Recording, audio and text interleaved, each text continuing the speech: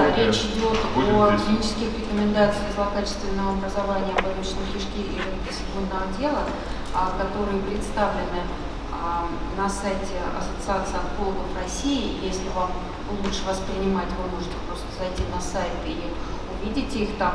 А, и надо сказать, что вот Евгений еще говорит, пересматривать каждые три года, там на сайте опубликован уже и 2020 года, и 2021 есть пересмотр, и даже 2022 по-моему, года, да, уже в, там, в стиле редакции, с внесенными изменениями, но также они есть.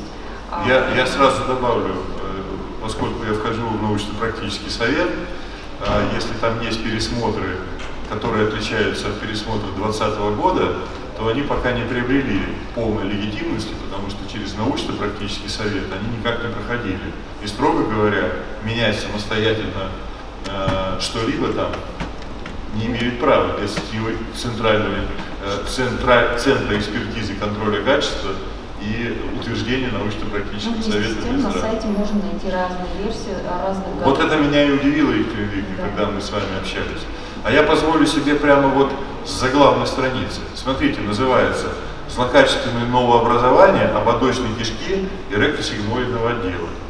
А, даже в докладе Ирины Иосифовны она нам показывала э, несколько злокачественных новообразований, включая лимфомы кишки, гастроинтестинальная стромальная опухоли кишки. Я бы, например, увидев рекомендации такого рода, понял бы, что там речь идет обо всех злокачественных новообразованиях.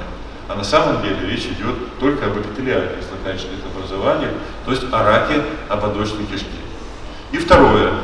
Э, Все-таки, я, я некоторые вещи повторю, но э, в моем понимании, вот я сейчас сам работал над рекомендациями, и по инородным телам, вот сейчас по полипам кишки заканчиваю. В рекомендациях, особенно в их формулировке, в определениях терминов, на мой взгляд, должно быть выверено не только каждое слово, но каждая запятая. Я вчера приводил известный всем пример, казнить нельзя помиловать. Да? Куда запятую поставишь, либо казнят человека, либо помилуют. И во многом случае, во многих случаях, и в рекомендациях также.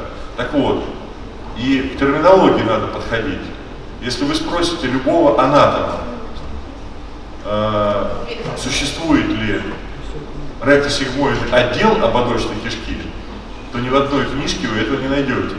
Потому что есть ректосигмоидный переход, но не отдел ободочной кишки. Поэтому вот я бы сразу уже призвал к тому, чтобы очень тщательно выверять каждое слово, в том числе даже заглавие. Пойдем дальше? Да.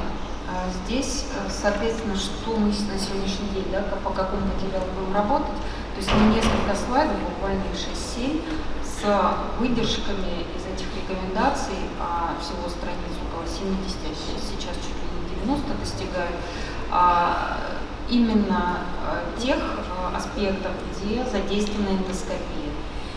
Соответственно, давайте посмотрим, а вот. Первое, где задействована эндоскопия, это в разделе стадирования а, раннего рака ободочной кишки. Ну, вы прочитайте, да, не знаю, все. Владимир Владимирович с нами тоже. Владимир Владимирович, если можно, примите с нами участие. Тем более, что большей частью, конечно, эти рекомендации написаны именно для онкохирургов и э, химиотерапевтов, не для э, специалистов, занимающихся ранним раком. И мы будем вот смотрите, э, давайте вот это важный вопрос. Стадирование по кикуче. Я твердо знаю, правда спорят, кто первый применил. Я нашел работу чуть ли не 84 -го года, задолго до кикучи, в работе на японском языке.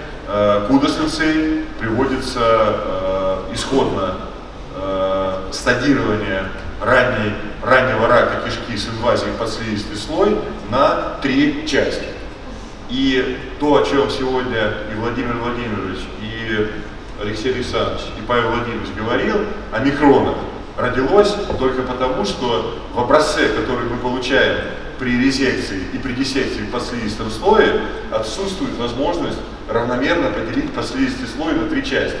Это можно только сделать, когда резицирована кишка, когда есть мышца, и, и мы твердо можем разделить подслизистый слой на три части. Это первое. Так что, если говорить о стадировании, но здесь речь идет вообще о другом.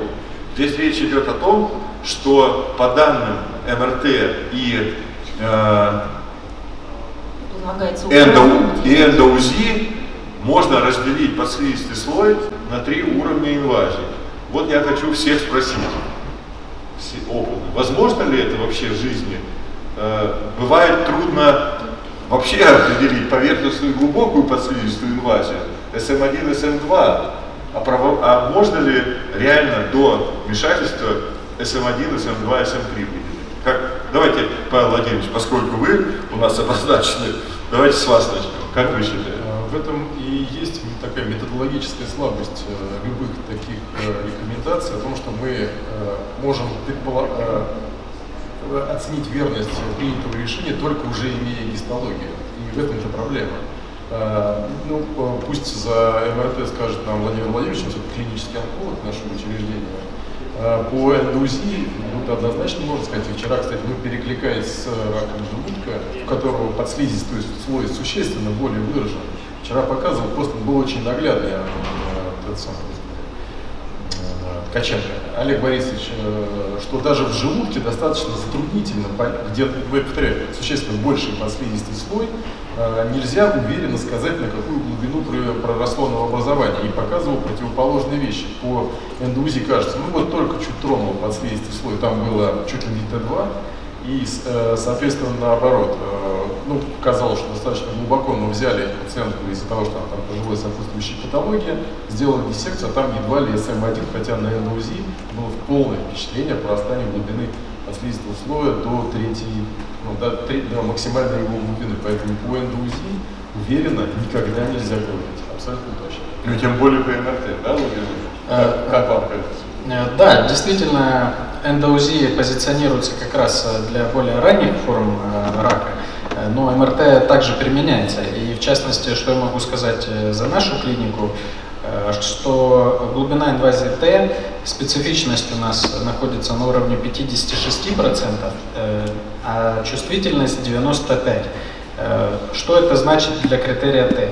Чувствительность у нас отражает тех пациентов, то есть ложно негативных то есть если мы говорим, что, к примеру, опухоль Т2, а она в реальности Т3, то есть мы не достадировали, это чувствительность, она у нас 94%. Но специфичность у нас всего лишь 56%. А это говорит о чем? Мы говорим, что это опухоль э, Т, Т4, а в реальности это опухоль Т3.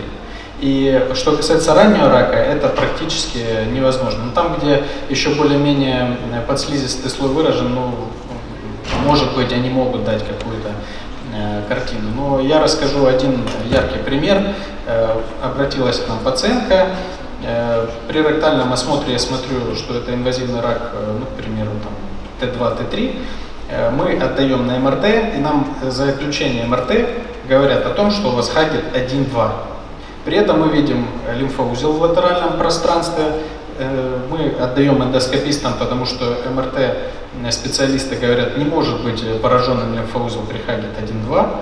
Мы отдаем эндоскопистам, они говорят, нет, тут э, подслизистая основа задействована, мы оперируем пациентку Т3 с латеральным лимфоузлом позитивным. То есть э, э, никакие диагностические методы на сегодняшний день, они не дадут стопроцентной специфичности и чувствительности, а вот то, о чем мы говорили, если вы сделали, вы видите, что э, неглубокая инвазия, и вы сделали диссекцию, определили факторы роста, по сути дела, это главный инструмент для дальнейшего движения. Мы до операции, к сожалению, мы э, слепы.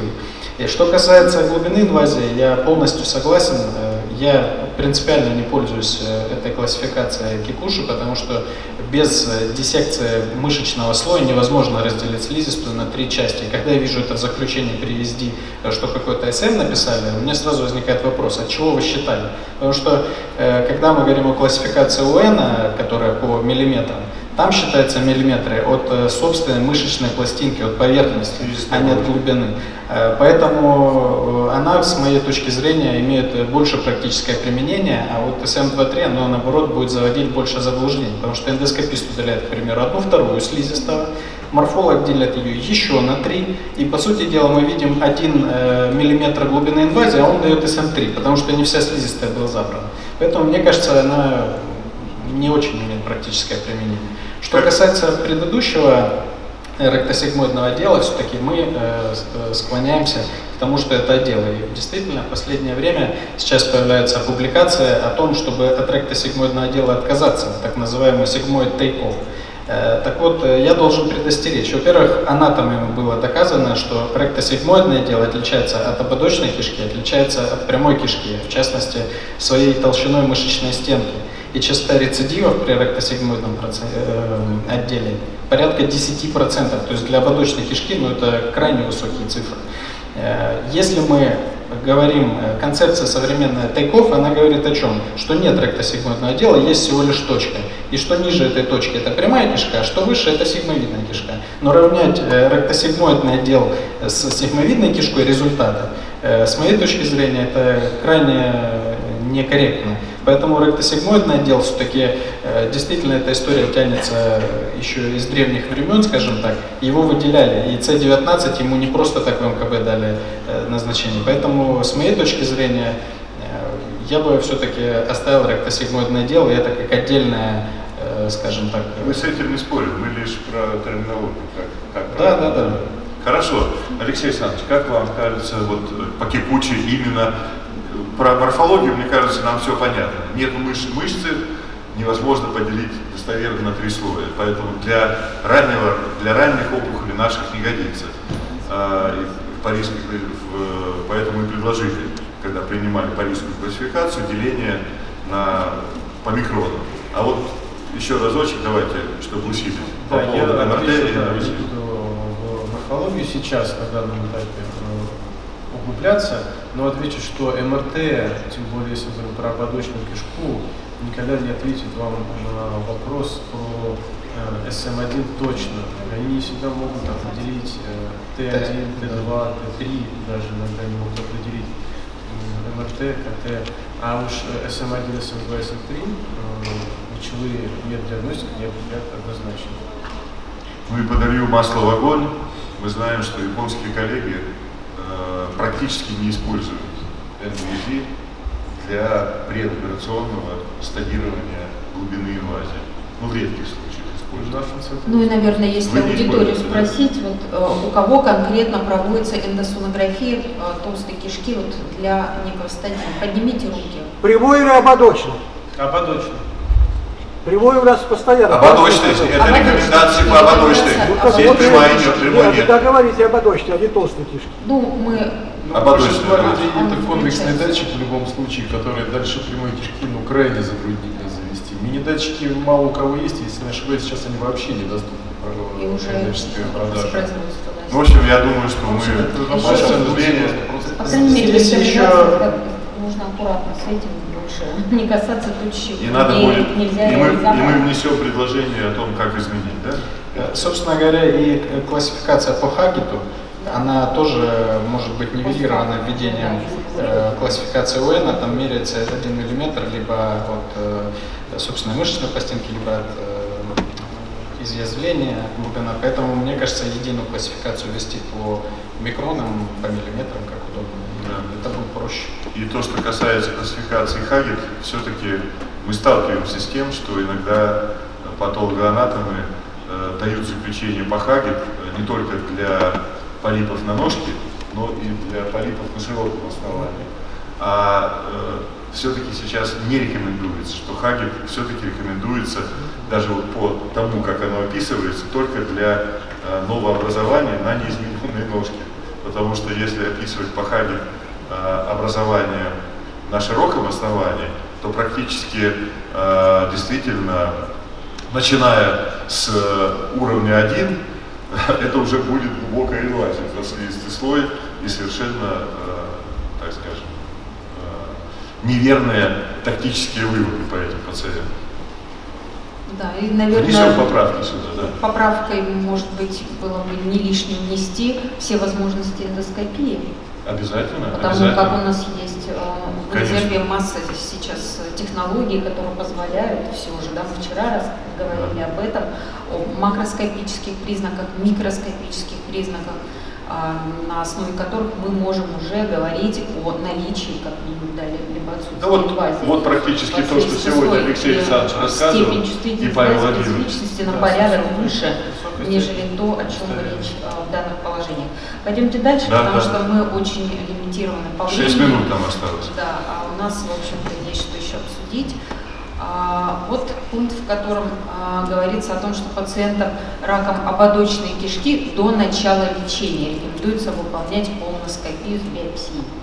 Ну, э, вот как я говорил, э, они, рекомендации действительно понятны. Они ориентированы на распространенные опухоли и на, э, от- на хирургию, трансабдоминальную хирургию. Э, Ранний рак немножко как пасынок здесь, именно поэтому, как и в раке, в рекомендациях по раку желудка, там вообще ничего не говорится о том, как брать биопсию и надо ли ее брать э, у пациентов э, с ранними э, раками или подозрением на ранний рак. Да, этот вопрос, как все же уже был доказан, рак ободочной кишки без биопсии, да, без колоноскопии. То есть тоже тут речь идет уже о том, что лечение без предварительной диагностики. В европейских рекомендациях звучит э, приблизительно так, что если по данным предварительного оценки по всем эндоскопическим критериям шкалы э, предполагается удаление э, через эндоскоп новообразования, то вообще не рекомендую брать биопсию, чтобы не создавать фиброз подслизистом слоя. Конечно, если есть подозрение на то, удастся или нет, или есть подозрение, что опухоль носит там, скажем, низко или мало дифференцированный характер, а тем более при распространенной опухоли, да, все справедливо, надо брать из наиболее измененных участков.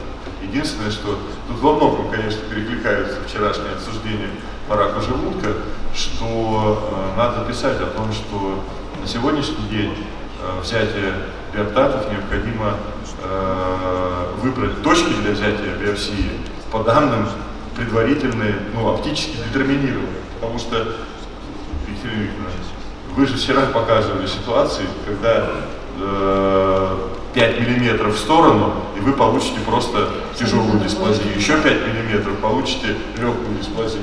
А если возьмете как раз из зоны бесструктурной, вот там как раз и получите аденокарцином. Ну, если говорить о би- биоптатах, которые вот указаны 3.5, то по последним исследованиям это должно быть не менее 6 биоптатов для более четкого верного по- получения диагноза кажется, надо спокойно просто предложить вот это, то, что мы сейчас говорим, обсудить, э, как это положено в рабочей группе, и все это внести. Ну, Следующее э, тут положение в что с установленным диагнозом а, при невозможности выполнения тотальной колоноскопии рекомендуется с целью исключения синхронных опухолей выполнять иригоскопию или КТ-колонографию до начала лечения, либо тотальную колоноскопию в течение 3-6 месяцев. Давайте спросим Владимира Владимировича, если стенозирующая опухоль ректосигмоидного отдела не сумели пройти, ну, понятно, что вам надо перед тем, как идти на оперативное лечение, знать, что там происходит в правой половине. Что вы сейчас выбираете? Какой метод исследования? Э, Предоперационный.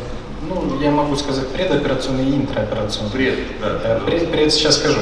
Э, Предоперационная иригоскопия, КТ-колонография, конечно, на мелких образованиях, в которых может быть злокачественная э, опухоль, она не выявит и говорит полагаться 100%, что пациент не нуждается в никаких дообследованиях после операции, конечно, неправильно.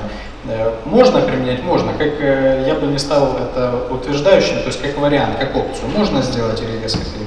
Э, В реальности, если у вас есть какие-то сомнения при интраоперационной ревизии, э, либо у вас э, хорошо подготовленная толстая кишка, можно интраоперационно сделать колоноскопию после отсечения препарата. Э, И такие случаи у нас бывали, э, абсолютно нормальная процедура. Потому что э, если идет тем более через лабораторный доступ операция, и у пациента найдется в другом участке еще одна опухоль, делать повторную лапаротомию, ну как-то не сильно. А колоноскопия на столе это возможная опция, если есть у вас содружество, нормально подготовленная э, кишка, почему бы нет.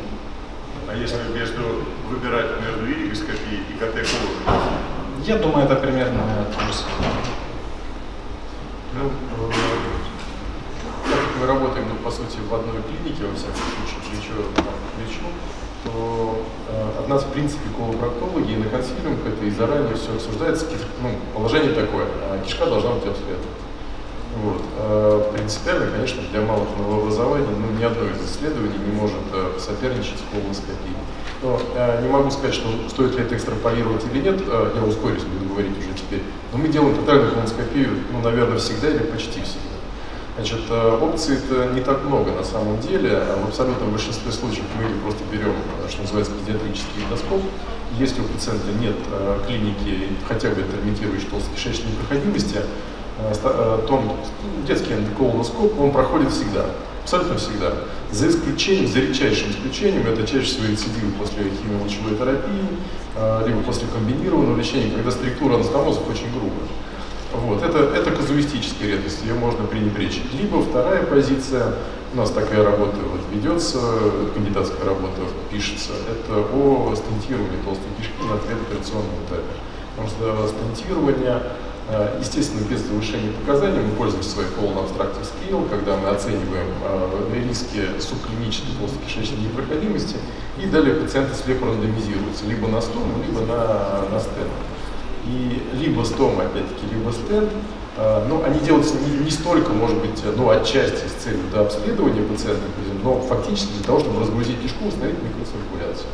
Поэтому либо в том, либо в другом случае, либо, ну, вот как бы, ну, всяко бывает, можно и в операционную, конечно, приехать на колоноскопию, но это все-таки достаточно классический подход, а, либо тонкий эндоскоп, если не помогает, стома, стенд, ну, тут уже. Через какое время? И это работает. Через какое время после стентирования вы делаете уже тотальный в течение пяти дней после стентирования пациенту будет выполнена колоноскопия. Там дальше по расписанию То есть даете время ему расправиться, укрепиться, и после этого готовите и делаете, да? Да, микроциркуляция восстановится, и пациент успеет адекватно подготовить толстую кишку и осмотр. Спасибо. Если можно, я чуть-чуть добавлю. Если вы все-таки делаете в диагностическом учреждении, это очень важно, чтобы этот пациент сразу попал на хирургическое вмешательство, потому что с отсрачиванием э, времени э, от установки стента до хирургического лечения это отражается негативно на общей выживаемости. Это да, нужно учитывать. Поэтому... Обсуждали это, как раз Павел Владимирович докладывал, мы обсуждали вопрос как вообще влияет установка стента да. на семенение. То есть как опцию, да, это хорошее, но нужен еще и стенд. Пройдем дальше, да? Да. Дальше идет рекомендация рассмотреть, рассмотреть возможность применения органосохраняющих и функционально щадящих способов лечения. Эндоскопическая резекция с листа оболочки с диссекцией. Тут такой микс предложен с диссекцией в подслистом слое а, с, с высокой эффективностью. Ну и, соответственно, ряд комментариев, и в том числе факторы, а, факторы указаны, которые тоже, в общем-то, обычно уже а, постфактум. Павел Ильич, как такая рекомендация и X, резекция, диссекция. Да, здесь э, рекомендации, то есть либо резекция слизистой, либо да. да, лечение ну, при раннем раке. Э, я, ну, я сегодня озвучивал, как бы изначально-то у меня была идея, в том числе про рекомендации иностранные поговорить. Э, свою, нашу позицию мы озвучили при подозрении на рак или латерально устраняющего образования более 2 сантиметров, мы все-таки стараемся делать диссекции. А наша позиция выполнять диссекции. Но вот э, другая сторона европейцы, но третья сторона есть японцы, да, у них там другой подход, э, опять-таки, вспоминая вчерашний ветер, дует совсем с разных сторон, э, все-таки, может быть, это не всегда целесообразно, но при подозрении на малигнизацию диссекция однозначный для нас метод выбора в вмешательство. Если же мы, ну, о чем мы говорили еще там на предыдущих докладах, да, гранулярное новообразование, абсолютно без признаков злочисления, допускаем ли мы там письмил резекцию? Ну да, допускаем, но мы стремимся к диссекции все равно в таких случаях. Мне кажется, что э, надо просто вот то, что мы сегодня даже услышали, э, ваш доклад, который только что прозвучал, надо просто э, внести в рекомендации по злокачественному нового образования в ободочной кишки ровно на том уровне, как это сделано э, в европейских рекомендациях. Я имею в виду, может быть, не копировать, обсудить показания противопоказания, да, но я имею в виду степень детализации. Не просто написать, что рассмотреть возможность а, применения органосохраняющих, а конкретно написать рекомендуется в показано выполнение да, диссекции для таких-то, таких-то, таких-то, таких-то параметров, размеры, Конечно, типа типов и так образования, политическую То есть- классификацию, упоминая все, на чем мы в А, жизни а как именно, ориентируемся. мы только что, собственно, вся сессия у нас была этому и посвящена. И Алексей Александрович докладывал прекрасно, и Павел Владимирович. Что еще у нас что-то осталось? У нас время уже вышло, кстати. Так, функционально неоперабельно. Но имеется Это в виду а, в высоком структура, операционном риске, что ли? ориентирование. Да, это как раз а, о чем Павел Владимирович только что говорил. Да. Ну, Если можно, два слова тоже скажу. Э, Подход к стентированию, опять-таки, европейского сообщества поменялся э, весьма на противоположный. Если изначально стентирование являлось допустимой опцией для пациентов с э, анестезиологической шкалой рисков АСА только 3 рассматривалось на первом этапе, то в настоящее время в последних пересмотрах 20 19 20 по-моему, год вышли по стентированию, то стома рассматривается как действенная перспектива стенту. То есть в настоящее время стенты рекомендуются в первую очередь для ургентного купирования толстокишечной инфарктоемости. Но э, стентирование не всегда и не везде возм- возможно, не у всех есть технические такие, не у всех есть стенты, по сути дела, и не все умеют стентировать, хотя стентирование на самом деле одно из самых простых эндоскопических вмешательств. Но, тем не менее, тут э, можно рассматривать варианты, наверное. Э, если там, как написано, обыграно, что ст- стома, должно, как написано в европейской версии, стома выполняется в случаях, если э, эндоскописты недостаточно квалифицированы или в клинике нет такой опции. То есть это почти буквальный перевод. То есть на первую, в первую очередь полагается рассмотреть стентирование. Спасибо большое. Коллеги, я думаю, что мы достаточно продуктивно сегодня поработали. Многие вопросы, которые вызывают всегда интерес или не имеют неоднозначную трактовку, мы, э, по крайней мере, получили очень четкие ответы на уровне того, не как в целом э, подхода, а конкретно как выполняется в той или иной клинике. Теперь задача рабочей группы. Э, Сергей Сергеевич нам обещал, что это будет предложение, в том числе сказать, подписанное академиком Андреем Андреем Дмитриевичем Каплиным, которые, надеюсь, будут услышаны и внесены в новую э, редакцию актуальных клинических рекомендаций по новообразованиям, в данном случае ободочной кишки, как справедливо Виктор Владимирович заметил.